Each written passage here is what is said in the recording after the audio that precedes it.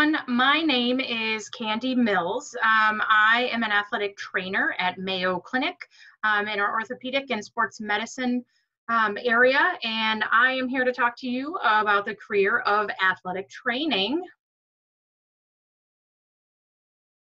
Bear with me. Um, first off, what is an athletic trainer?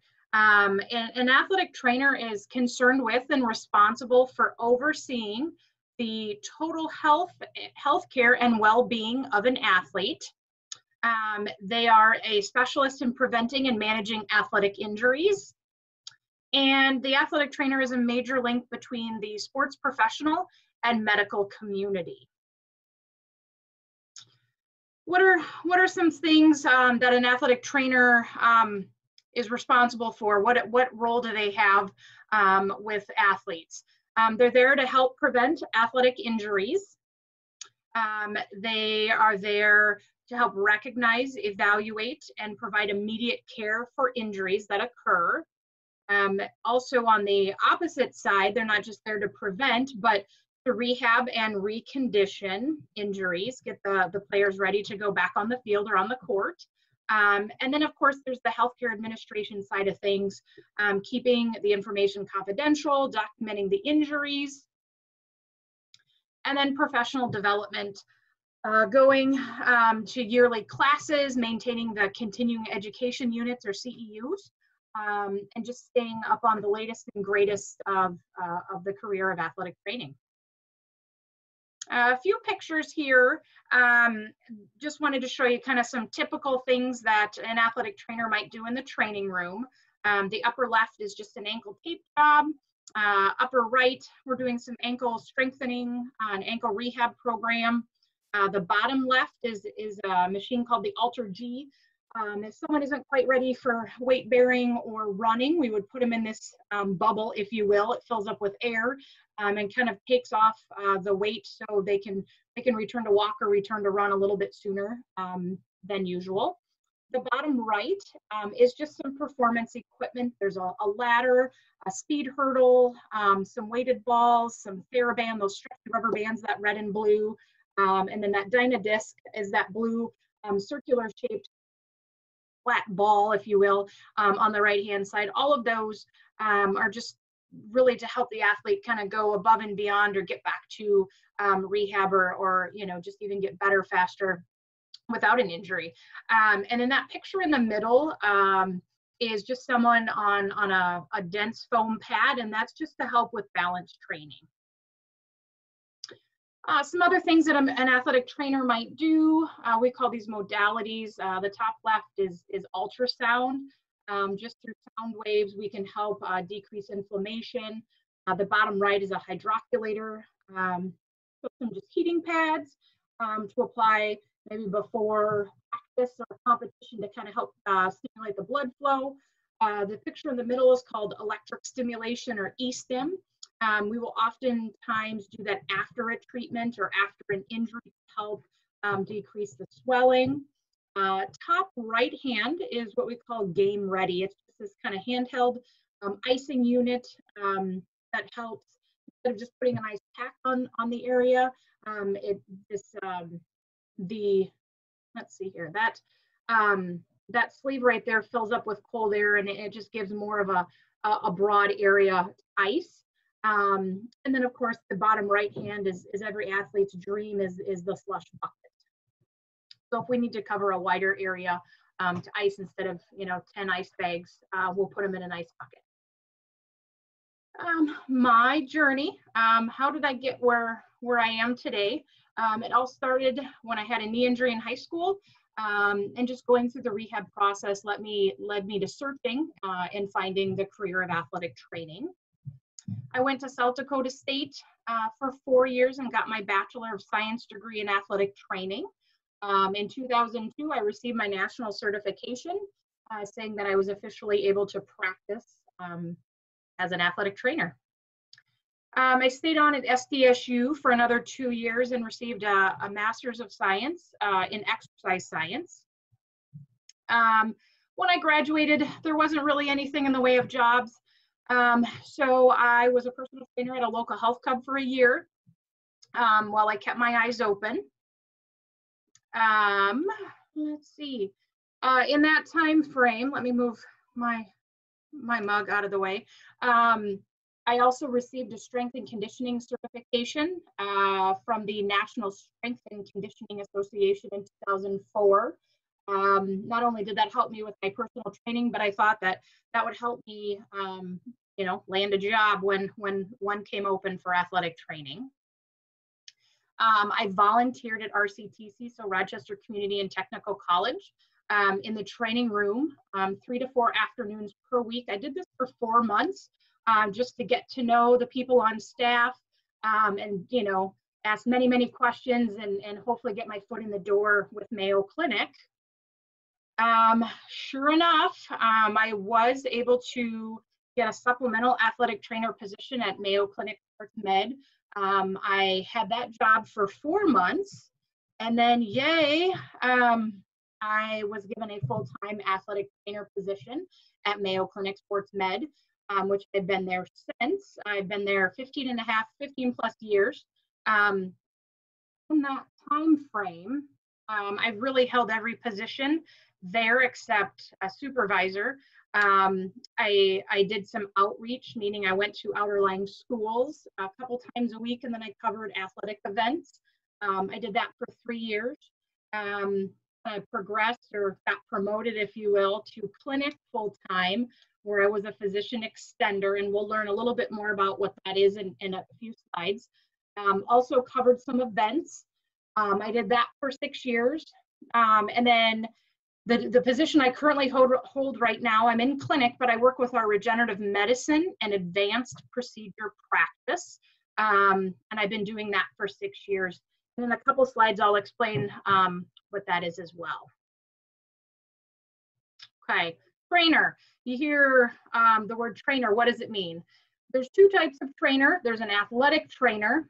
Um, as I kind of mentioned before, this is um, a person who's an expert at recognizing, treating, and preventing musculoskeletal injuries. Um, we are nationally certified um, and then also adhere to requirements of state licensing. So every year I have to reapply um, to keep my licensure.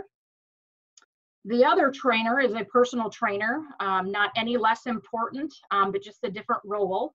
They develop, monitor, um, and change an individual's specific exercise program uh, they typically work in health clubs, wellness centers, other locations where fitness activities take place. Um, and here you may or may not be certified. Um, when I was a personal trainer, I was not a certified personal trainer. Um, I was a certified athletic trainer, but that um, certainly made me qualified to be a personal trainer. It was just a little bit different than, than what I went to school for. All right, um, which school should you go to? Where I always point students um, to a couple websites here, NATA, nata.org, and CAATE.net. Um, things to look at. Um, find the school that's right for you. How do you do that? Um, first and foremost, uh, you want to find an accredited program. Um, if you're not accredited, you can't get your national certification. Um, size of school. Do you want a small school? Do you want a big school? And how about geography? Do you want one close to home? Do you want to go near and far? Um, kind of get away from the house. Um, also, um, there's a two-year versus a three-year program. Now, all these programs do require you to have a bachelor's pro bachelor's degree, um, but some programs kind of um, combined it into a master's program as well. And so that's that three-year program. So it just really depends on what your goals are and what you're looking for and where you're looking for. Um, but the other thing within the programs that I want to point out for sure is your contact hours. Um, when I graduated, I had well over a thousand hours of contact, meaning I had put in a thousand hours um, working with athletes um, as as um, experience. All right, so you have to apply to a program. What are the entry requirements? Um, you know, the, whether you're in high school, whether you're in college, um, all these areas are just really important that you have some sort of working knowledge um, of before you apply to a program. If you haven't taken any of these, you're probably not going to get in. And then, of course, observation. Um, anytime you can shadow at a PT clinic, um, an athletic trainer, um, at a high school, at a college, those are all going to be pluses. Unfortunately, COVID um, times right now are making it really hard for any observations. I know at Mayo Clinic right now, we're not allowing any outside observations um, unless you're within like the Mayo Medical School. Um, so kind of put the damper on on the possibilities at this point. But just know that observation is key and really just making your face, um, getting your face out there in the community and, and networking. Okay, based on 2020, here it is, national ad, nationwide average uh, of an athletic trainer's salary, um, about $47,500. Um, one thing I always stress to students is you don't you do not get into athletic training for the money. You do it for the passion and do it because it's a very satisfying job. You don't do it for the money. Um, now, average or the the um, salary is dependent on the work setting. Um, you may work, uh, you may make more if you work in the clinic um, at a college or a professional level. Um, you may make not as much if you're working in an outreach, a small school, um, a high school setting. Of course, the level of education. Now, at Mayo Clinic, you have to have a master's degree to work in the clinic. Um, a lot of uh, a lot of places are going that route, um, but certainly that's not um, not every place. Um, so again, if you just have a bachelor's, you may not be making as much as someone who has a master's degree. Um, years of experience, um, you know, I have 15 plus years of experience. I'm probably making more than someone who only has five years of. It's just the way it goes. Um, and then of course, demographic location. I can tell you um, that people on the coast um, or athletic trainers on the coast are probably making more money than um, people in the Midwest. Um, all right, how do you gain experience? I talked about ob, um, observation a couple slides ago. How do you how do you observe? How do you gain that that knowledge and to figure out, hey, is this really something I want to do, or is it just sound cool on paper? Um, again, whether in high school or college, find an athletic trainer. Um, locally, RCTC is a great um, a great resource. Greg out there is wonderful. or other college or university, athletic trainers are quite quite common um, in the athletic setting. So it's just a matter of getting, you know, working through the barriers and getting to that individual. Um, high schools, I can tell you the four high schools here in Rochester um, all have an athletic trainer full time. And I think 12 to 14 of the smaller outer line schools have an athletic trainer most days of the week. Um, mentorships internships right now they're being you know kind of put on hold because of covid um, but these are also opportunities in the summer typically um, i know winona state they do have an, uh, a mentorship or an internship program um, that they co-op with um, mayo clinic sports med so some schools have it built in the program um, some uh, career days um, these student workshops um, again, it's just all reaching out to that high school athletic trainer or the college athletic trainer and seeing what's available um, in your area or at your school. All right, uh, settings versus a typical day. Um, in a college or high school, the hours are dependent on the activity uh, during the school year. Um, part and to kind of go back a couple slides, part of that salary um, is based on some people have nine month contracts, some people have 12 month contracts. So um, that can also sway that, that salary. Um, anyway, hours depending on the activity during the school year. Do you get the summer off? Do you have the summer off? Um, I can tell you it's very common to work 60, 70 hours a week during the fall on a normal fall um, and not work as much during the spring. So it, it, can be very different depending on the sports that are going as well. Um, outreach, that's where you're going to those smaller schools, visiting them during the school day. Um, and again, to supplement that time, I had to cover events um, because uh, you could only spend so much time with kids during the school day um, and it didn't equal 40 hours. So a lot of times my nights and weekends were consumed. Uh, and then here's where I'm at now, the clinic physician extender. The nice thing I always tell people, it's very climate controlled. Um, typically it's the eight to five weekdays. I don't really work weekends and nights anymore unless it's an emergency basis. Um, but it, it's it's very um, it, it, varies depending on the physician that I'm working with. Um, what what are the tasks at hand during the day? Very rarely do I get a full lunch break, so it's very densely packed in the eight to five. Um, but I know that my nights are, are and weekends Um, and then, then we have professional sports.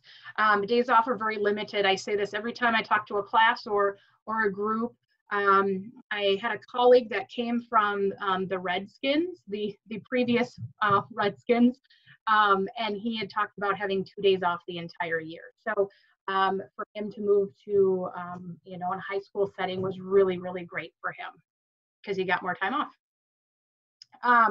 I alluded a little bit on the previous slide what my typical day is. Um, I work with a primary physician, or a, I primarily work with one physician. Um, I, I, do help uh, or I assist other physicians as needed, but I have one physician that, that I work with.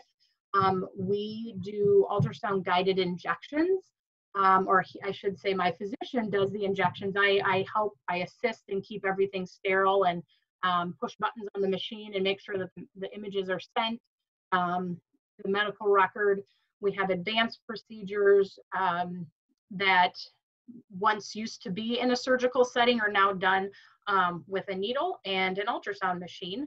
Um, I do blood draws and the processing of platelet-rich plasma.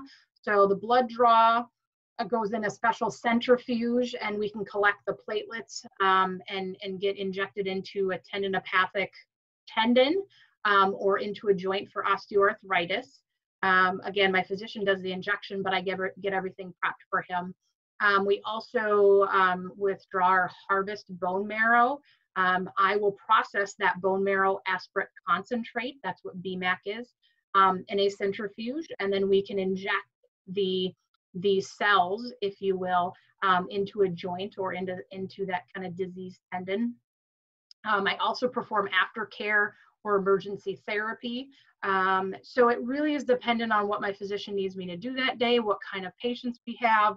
Um, it could be maybe I just go in and take a history and, and do an examination. Um, so it's highly variable depending on our, our population or what our patient load is for the day. Um, one other thing I get to do um, is research. I'm involved in a couple research studies.